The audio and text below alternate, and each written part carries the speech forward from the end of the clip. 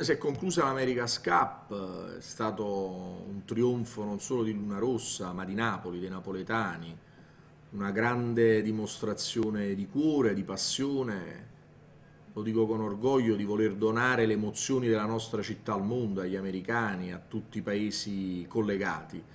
C'è stata pioggia, il tempo non è stato certamente dei migliori, anomalo, per questo periodo nella nostra città, ma centinaia di migliaia di persone hanno attraversato il lungomare liberato, Pasquetta mezzo milione, ieri con la vittoria di Luna Rossa circa 200.000 persone. Io voglio ringraziare i napoletani eh, per la dignità e la fierezza con cui hanno affrontato questo evento e anche i disagi connessi a questo evento e soprattutto ringraziare la protezione civile, i giardinieri, la polizia municipale, il personale di Asia, gli impiegati, i funzionari, i dirigenti i dipendenti del comune. La squadra ha dato una prova di grande compattezza, di grande forza, di grande voglia di dimostrare come il pubblico funzioni nella nostra città. Un ringraziamento anche agli assessori che hanno lavorato a questo evento in condizioni difficilissime, con pochi soldi, con pochi giorni.